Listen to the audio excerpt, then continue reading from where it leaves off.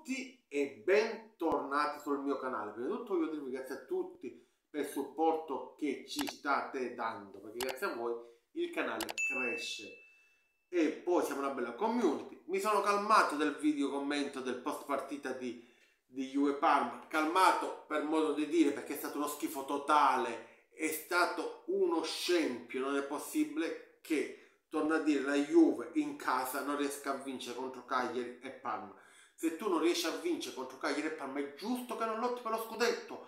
È giusto che a, ai primi di novembre sei 7 punti da Napoli. È giusto così. Semplicemente è giusto. È giusto. Però non parliamo di Juve ma parliamo di, delle belle vittorie di eh, Inter e Venezia e Atalanta. Ma voi nel frattempo iscrivetevi al canale attivate la campanella così non vi perdete niente, continuate a supportarci come lo state facendo ora, perché ci supportate, perché più ci supportate, più portiamo contenuti, più portiamo nuovi ospiti, cose che ancora non abbiamo portato, però se voi ci aiutate a crescere possiamo portare degli ospiti. Scusate se oggi sono un po' così, però sono ancora nervoso per lo scempio che ho visto poco tempo, poco fa. E allora, la vittoria dell'Inter è una vittoria meritata, è giusto poi dire che fino al 31esimo l'Inter l'Empoli se la stava giocando alla pari, aveva un'occasione uno, un'occasione l'altra, poi il giocatore dell'Empoli fa una follia totale che è giusta l'espulsione, senza che raccontiamo Malotta lì, l'espulsione c'è, l'espulsione c'è, è stato coglione il difensore o il centrocampista dell'Empoli, perché lì è stato anche un errore dell'arbitro, perché è un errore perché non è l'ora dell'arbitro? Perché là tu lo devi vedere subito, non dovevi aspettare il VAR, là era un rosso diretto e c'è stato il rosso diretto e a casa. E poi, grazie a Frattesi e a Lautaro Martinez, l'Inter con un uomo in più si porta giustamente la partita a casa ed è oggi, lo possiamo dire tranquillamente, ai primi di novembre, che la vera e unica anti-Napoli è l'Inter, le altre finora hanno fallito tutte, chi, da, chi in un modo e chi nell'altro. Hanno fallito tutti e tutte.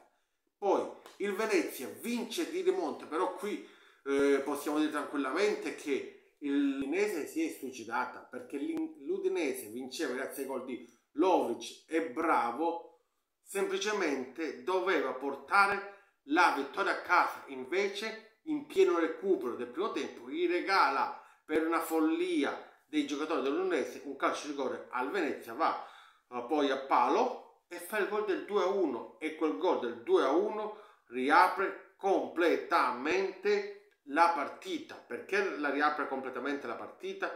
Perché Trare fa una follia assoluta al 53esimo che si fa cacciare e grazie a quell'espulsione prima Nicolussi Caviglia porta il Venezia sul 2 a 2 poi nel finale altra follia di un difensore de, dell'Udinese fa fallo, va poi a palo sul calcio di rigore e fa 2 su 2 e porta tre punti fondamentali al Venezia. Nel frattempo l'Udinese crolla completamente quando al quarantesimo aveva chiuso completamente una partita, poteva fare un secondo tempo tranquillo, invece eh, grazie a quell'errore che regala il calcio di rigore al al Venezia che riapre tutto. Una vittoria strameritata della squadra di Di Francesco. Forse c'è qualche segnale di ripresa. Dobbiamo semplicemente dire complimenti al Venezia per questa vittoria strameritata. Poi vedremo se avanti riuscirà a portare ancora avanti il suo obiettivo, però oggi è così. Venezia 3, Udinese 2, l'Udinese si suicidia calcisticamente, ma per i suoi errori, per sue letture sbagliate dei suoi giocatori. Nel turno finale l'Atalanta vince contro un Monza 2-0 e la risolve Samardzic, il giocatore, eh, non mi ricordo se è serbo o croato, comunque chi è lui, da dove viene, un ottimo giocatore. Lui, la, l'Atalanta prende i giocatori e le riesce a migliorare tutti da chi prende prende lo migliora che è Pinco Pallo, se Pallo Pinco lo migliora tutti quanti Summers l'ha migliorato De Ketela l'ha migliorato, Scamacca l'ha migliorato. Io sono convinto che farà anche il miracolo con, mm, con oh, Zagnolo. Vedrete che con Zagnolo farà anche il miracolo. Perché quando Gasperini vede che la squadra è in difficoltà, non è che mette il difensore, mette altri attaccanti. Perché mette Zapacosta, mette Quadrato, mette Zagnolo per andare a vincere questa partita. La vince grazie all'assist di Retegio per Samardzic che fa il gol de, dell'1-0 e poi le chiude un altro subentrato Zappa, Zappacosta grazie alla, all'assist di Samardzic. Possiamo dire tranquillamente questi tre punti dell'Atalanta vengono portati a casa dalla panchina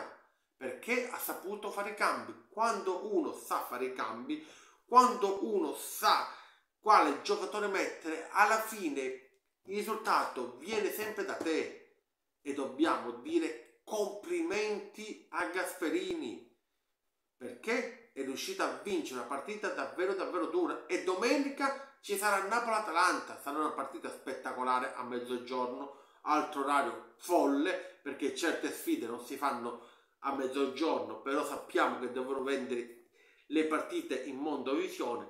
Atalanta-Napoli sarà una partita spettacolare. Vedremo se Gasperini riuscirà a fermare a oggi, a oggi possiamo dire tranquillamente che la, cor- la corazzata di Conte è imbattibile, non la riesce a fermare nessuno. Il gioco bello Conte fino a un certo punto, l'importante è portare i tre punti a casa e Conte ancora una volta col Napoli è riuscito a portarli, invece altri non, non ci sono riusciti. L'Inter è, è ufficialmente l'unica anti-Napoli, l'Atalanta si prende il terzo posto, il Venezia per la prima volta si allontana dai tre posti per non retrocedere. Comunque, questa serie è bella, fra chi vince e chi perde, alla fine ha ragione solo uno. Quello che ha sempre ragione è uno, ed è Antonio Conte. Voi nel frattempo iscrivetevi al canale, attivate la campanella e ci vediamo al prossimo. Ciao!